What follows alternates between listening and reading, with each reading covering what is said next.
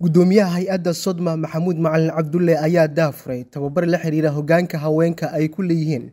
hirgelinta arrimaha bini-aadanimada iyo fahamka guud ee la xiriira jandarka tababarkan oo socon doona saddex maalmood ayaa waxaa loo qabtay shaqaalaha hay'adda maareynta musiibooyinka qaranka oo ka kala socda waxyaha kala duwan ee hay'adda. La taliyo sare oo ka tirsan hay'adda sodma mukhtaar sheekh xuseen jimcaale ayaa ugu horeyn faahfaahin ka bixiyey tababarkan workshopkan waxaa loogu talagalay inuu socdo from tobanka ilaa iyo saddex iyo tobanka. Sida ku cad boorka ku cad. Hadafkiisana waxa weeyaan in sare loogu qaado fahamka arrimaha jenderka iyo siday xiriir u leeyihiin yareynta khataraha. In maxaa la dhahaa la xoojiyo awoodda shaqaalaha xagga aqooneed ay u leeyihiin cilmigan in la xoojiyo in guud ahaan la helo faham guud oo la xidhiidha jenderka tusaalooyin oo wax ku ool ah ama la taaban kara in in laga bixiyo sida isku saameynta ay ugu leedahay jenderka iyo humanitarian programka ay saameyn iskugu leeyihiin. Guud ahaan waxaa loo yaqaana humanitarian principles mabaadiida aasaasiga ee laga rabo arrimaha qofka ka shaqeynaya arrimaha bini aadamnimada inuu yaqaano laga rabo. Doctor cabdulaahi muuse farax madaxa waaxda caafimaadka hay'adda ayaa ka hadlay muhiimadda tababarkan. Taasoo maaragtay shaqaalaha lagu barayo in ay fahmaan humanitarianka maxaa la yidhaahdaa cidda la gargaarayo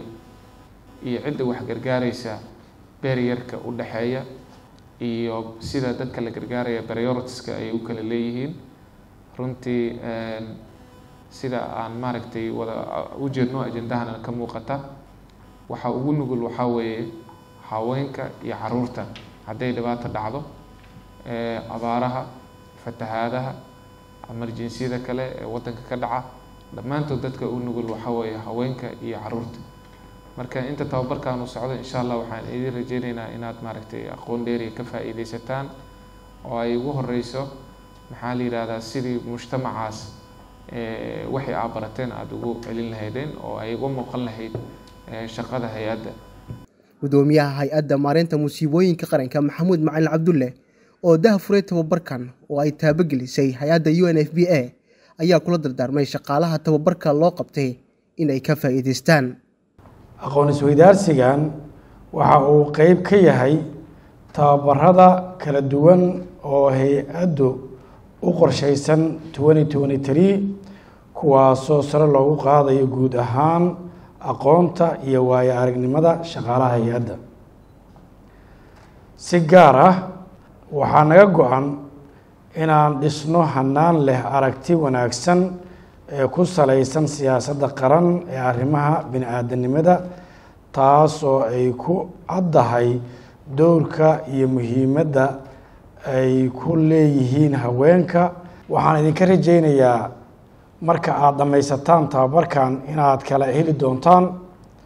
aragtida guud ee wanaagsan ee ku saabsan arrimaha jenderka zakari axmed muuse t v-ga shabeelle muqdisho